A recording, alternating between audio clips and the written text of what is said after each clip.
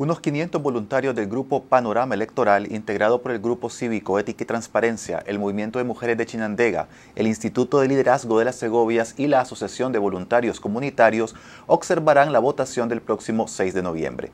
Y para hablarnos de esta estrategia de observación, hoy nos acompaña Roberto Curni, director ejecutivo de Ética y Transparencia. Muchas gracias, Roberto, por estar con nosotros. Es un placer siempre. Ustedes han publicado eh, tres informes sobre lo que ha sido todo este proceso electoral.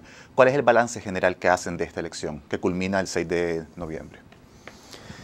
Estemos claros que hay una parte muy significativa en términos de valoración final que todavía está pendiente, ¿verdad? El mero día de las elecciones y sobre todo si hay controversia, la transparencia y fidelidad con la que se ven los recursos y los reclamos.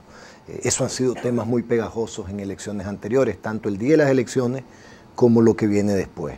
Si tuviéramos que decir una valoración general en este momento, todos los indicios apuntan a que tenés una cuarta elección consecutiva en el país en el cual hay incumplimientos graves de principios fundamentales de nuestra ley electoral y sobre todo de principios y estándares internacionales de requisitos mínimos en materia de cómo conducir procesos electorales. Esa sería una valoración preliminar, como te digo, que todavía tiene que ver qué pasa el día de las elecciones, sobre todo con respecto a problemas recurrentes, graves que ocurrieron el día de las elecciones en procesos anteriores y que uno quiere ver cómo se materializan en esta ocasión. En el tercer informe que ustedes publicaron, hicieron público en octubre, destacaron que la campaña electoral careció de, competencia efectiva y plural, además de abusos de bienes del Estado por parte del Frente Sandinista. Eh, nuevamente, en esa valoración te señalaba, porque eh, lo, más importante de un observador, yo te diría, incluso más allá de su pedigrí o su experiencia, es el soporte que tiene para lo que está afirmando. En el caso de uso de bienes del Estado, que es un acápite bien preocupante, la ley electoral es absolutamente taxativa, porque tenés problemas en el que el aparato electoral claramente está interpretando de una forma errónea un artículo eh, de la ley electoral, pero bueno, hay espacio para la interpretación. Hay algunos que son muy taxativos. Este de bienes del Estado eh, encontramos por cuarta elección consecutiva y no solo con una dimensión un poco agravada sobre las elecciones anteriores, la violación al artículo 175 que te establece dos años de cárcel e incluso la pérdida de candidatura para aquellos candidatos que tienen publicidad en oficinas estatales o escuelas públicas o cosas por el estilo.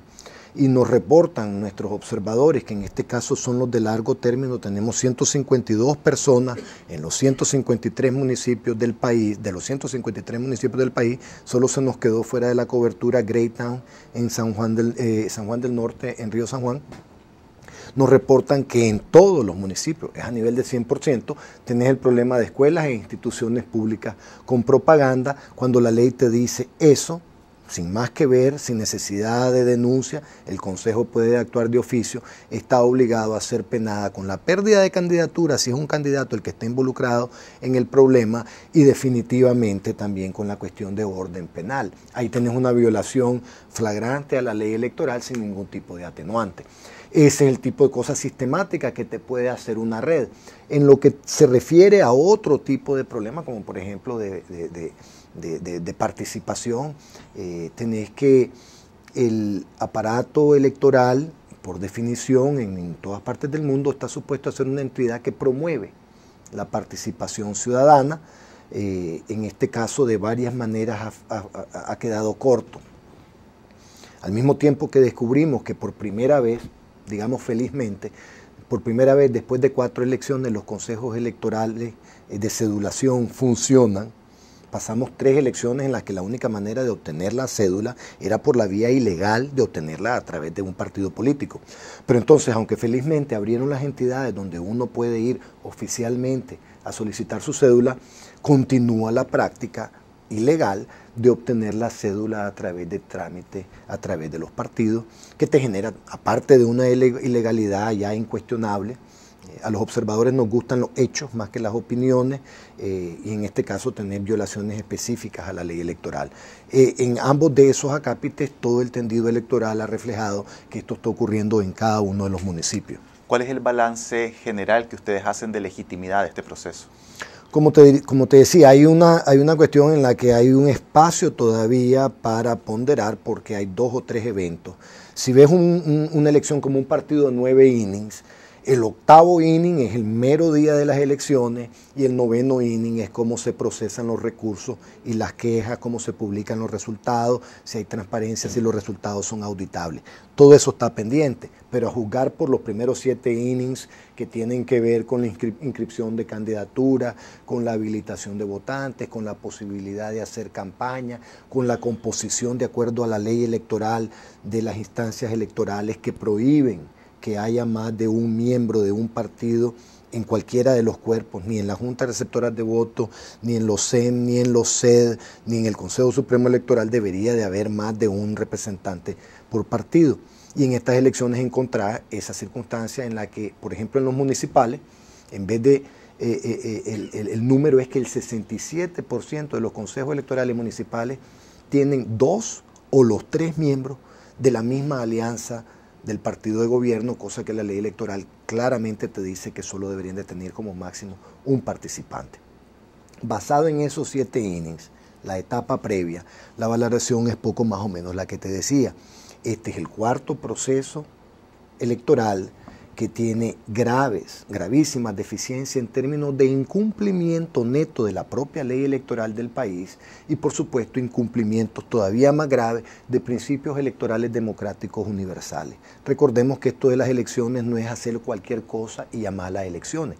Tienen que cumplir ciertos estándares, voto universal, secreto, participación fomentada en vez de restringida, publicación de resultados auditables, observación, otra cosa, por ejemplo, que la ley electoral establece, la observación no es una, no es una dávida, no es un regalo de ningún aparato electoral, es un principio elemental en todos lados. Yo acabo de regresar de los Estados Unidos, donde hay un ejercicio de observación electoral por parte de la OEA, de la eh, Comunidad Económica Europea, eh, de la OSD. Eh, y entonces te encontrás que no es porque tu sistema es malo, muy por el contrario, entre mejor es tu sistema, más abierto estás a temas de observación y en el caso de Nicaragua el artículo 10 de la ley electoral la hace mandatoria. Y bueno, aquí hubo una circunstancia en la que un partido, un candidato dijo estos son sinvergüenza y el aparato electoral nunca activó, incumplió la ley electoral. En ese aspecto ustedes van a desarrollar un mecanismo de observación el día de la elección. ¿En qué consiste? Cuando hablamos de desarrollar un mecanismo hay que dejar bien claro que no es que lo estás haciendo por primera vez. La verdad es que desde el 2008, Ética y Transparencia, eh, en ese entonces ahora como parte de un consorcio, pero desde el 2008, Ética y Transparencia empezó a trabajar mecanismos de observación que capitalizaban el hecho de que el observador nacional tiene permanencia en el país, no necesita una visa, no necesita un permiso, no ve a las autoridades como la ve el extranjero, el soberano o el representante del soberano. Más bien el NICA lo ve como lo que es un empleado público con obligaciones de desempeño hacia nosotros los contribuyentes. Entonces tenemos ya 10 años de venir afinando la metodología y de hecho ha ocurrido un fenómeno bien interesante por temas de cada vez haber más casos de, países donde las circunstancias de apertura a la observación eh, son malas y por el hecho de que la observación masiva es muy cara, estos mecanismos de observación sin acreditación oficial son más baratos y muchas veces más efectivos. Te voy a dar un ejemplo. En el 2008 tuvimos la mejor, fue la primera que observamos sin acreditación oficial del aparato electoral y fue la que terminamos con mejor y más persuasiva prueba de que habían habido elementos de fraude en esas elecciones. ¿Qué es lo que se hizo? Se tomó estrictamente los datos del Consejo Supremo Electoral, que el día antes de las elecciones te da un, un número de votantes por junta receptora de voto, como por ejemplo, digamos la de aquí enfrente, tenía 150 votantes según el Consejo Electoral. Al día siguiente te dice que en esa junta un partido, ya sabemos cuál, ganó 400 a 0. Eso es imposible, donde hay 150 y ambos son datos oficiales. Jamás con un observador en la Junta Receptora de Votos pudiste haber recabado ese tipo de información que el Consejo Electoral te sirve en bandeja si vos analizás los datos. La respuesta del aparato electoral cuando lo agarraste robando con sus propios datos, con las manos en la masa de la manera más grotesca posible, su respuesta fue también, podríamos decir, de orden equivocado. Entonces, para que no lo agarren, con más votos que votantes, ya no te dice cuántos votantes tiene por junta, ya no te dice eh, cuánto, cuál es el resultado de esa junta receptora de votos, eh, te empieza a negar fiscales, te empieza a expulsarlos a la hora de los conteos y te remata no entregando copias de las actas. Obviamente ya no le vas a poder decir tener más votos que votantes, pero como observador ya ni siquiera tenés que decirle eso. De entrada, incumplió con obligaciones de la ley electoral y de procesos electorales. Entonces, el, hecho de observar un proceso electoral sin acreditación tiene la ventaja de que pase el, peso, el, peso, el peso de la prueba al Estado, que tiene que cumplir principios. Y si no los cumple, vos no tenés que enseñar cuántos votos se perdieron. No hay condiciones para que el proceso sea aceptable y eso es más que suficiente eh, para un observador señalar. ¿Y qué elementos ustedes van a tomar en cuenta en esta observación? Tienen a 500 personas, voluntarios que van a estar trabajando eh, ese día de la elección. ¿En qué se van a centrar? ¿Qué ve uno el día de las elecciones? Primero, eh, otra de las ventajas de ser nacional es que podés entrar a la Junta Receptora a la hora de la votación, que tratar de establecer nuevamente el cumplimiento del Estado, en este caso el Estado de Nicaragua, de principios y garantías de carácter internacional, principios electorales fundamentales, así como la propia ley electoral. Entonces, ¿qué vas a tratar de ver? Vas a ver si funcionan los candados al doble voto. Está buena la tinta, se está aplicando debidamente, están los padrones, las personas se pueden ubicar en los padrones, eh, están los fiscales presentes, están las actas, se publica el cartelón de resultados al final del día y todos los eventos relacionados con la forma en que el Consejo Electoral publica los resultados no son necesariamente eh, tan decisivos en una valoración porque los aspectos previos que incluyen lo que ha ocurrido, como te decía en la metáfora inicial, durante los primeros siete innings, aquí el juego se desbalanceó. Hay poco misterio en qué puede ocurrir en el octavo y el noveno, y no hay espacio para que cambie mucho la valoración. Pero sí es importante observar todo lo que es observable para también ver si en algunas medidas hay algunas mejoras porque la neutralidad y la independencia de un observador requiere que aún en los entornos más complicados que estás declarando que no cumplen estándares internacionales,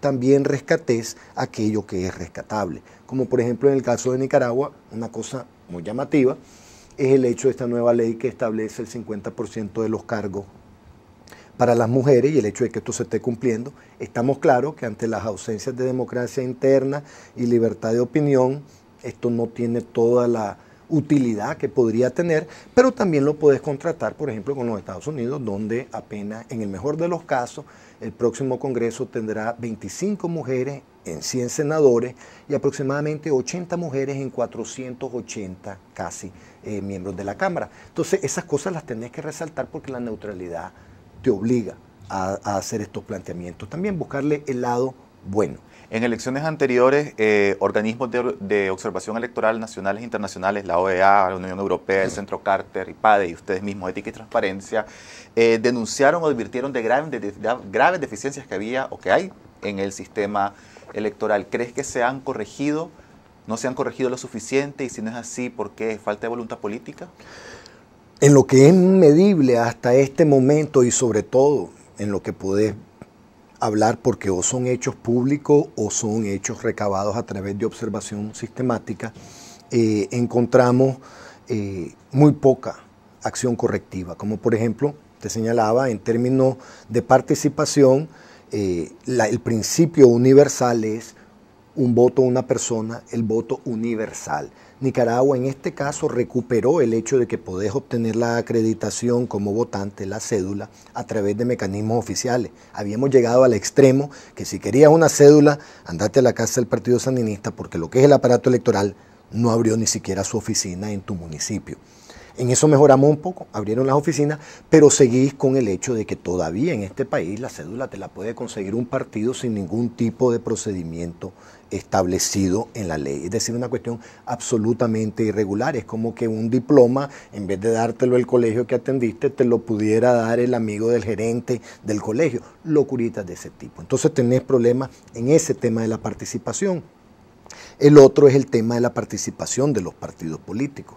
En estas elecciones tenés, aparte del muy repetido caso del PLI, en el cual una sentencia bastante difícil de explicar de parte de la Corte Suprema, en la que, obligado a pronunciarse en 45 días, se publica se pronuncia 1700 días después, precisamente en el peor día posible, porque significa que descabezaste a esa alianza, complementando esto con quitarle la posibilidad de competir dentro de otra casilla. Eso, que podríamos hacer el jueguito del leguleyo diciendo, bueno, la ley es la ley, se complementa con una cosa que ya no tuvo tanto, tanto eh, eh, eh, debate popular, pero es más grave.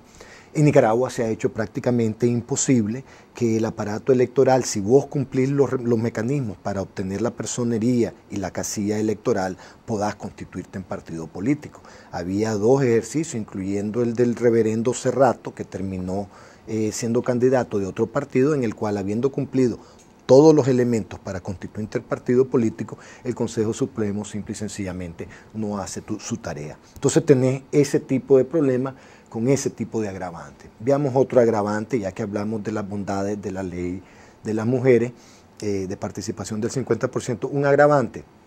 Antes tenías, en las elecciones pasadas, tenías un problema de neutralidad e independencia escasa o nula, dice la Unión Europea en su informe, con respecto a las autoridades electorales. ¿Cuál es el agravante en esta elección? Hubo una elección de magistrados y el hecho, ahí está en los resultados de la Asamblea Nacional, es que los electos son todos a propuesta de un solo partido con los votos de un solo partido. Entonces ya tenés, sacás del campo de, la opinión y del intercambio de cuál es la realidad. No, ya, ya el hecho concreto e incuestionable es que el arbitraje de un partido está decidido de cabo a rabo por uno de los partidos en contienda. Si regresamos a la metáfora beisbolera, es como que el árbitro de, los, de las bolas y los strikes sea el papá o la mamá de uno de los pitchers. Obviamente ya la cosa ya no está jugando con el tipo de arbitraje que la situación requiere. Perfecto. Muchas gracias Roberto por estar con nosotros y vamos a estar pendientes de los informes que ustedes vayan presentando el día de elección. A tus órdenes.